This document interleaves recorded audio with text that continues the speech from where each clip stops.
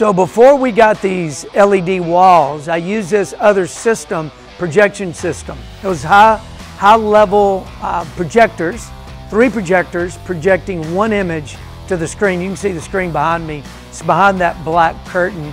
It's where the screen was. We're about to take that down. So they would project, or we would project that image on to the screen with these three projectors. And it was high maintenance. These projectors, the bulbs, and uh, one would dim. And so it became very expensive, just the upkeep and the constant maintenance of adjusting those projectors to make sure that it always looked great and excellent. And so when I realized that there was a better way to go, which is the LED walls, uh, we made that decision to take that jump. And I can't tell you how happy I am that I did that.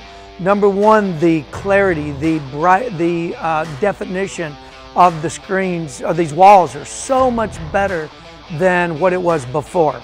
And you can see the direct result in terms of how people are engaging and worshiping as a result of these new screens or walls, LED walls, in our building.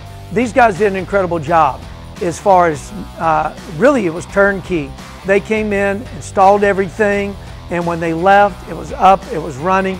They made sure that I was able to run my services before they left. They took good care of me.